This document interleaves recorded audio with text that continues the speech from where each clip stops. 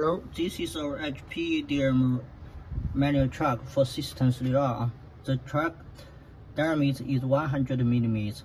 It was made of stainless steel. The surface accuracy very high and the lift accuracy up to 2 micro.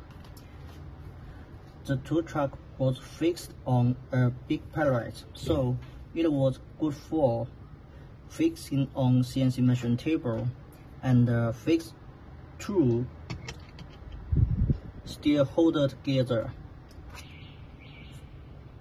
This was used on clipping workpiece. How to use it?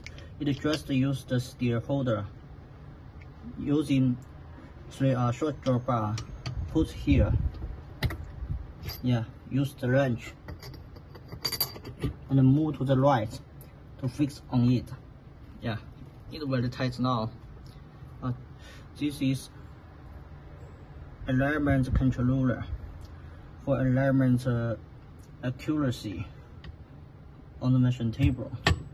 Yeah, just on it. Move to the right. Yeah, it's very tight now. Then it is okay. Warranty is one year. Com competitive price. Welcome to inquire www.cncedmtool.com. Thank you.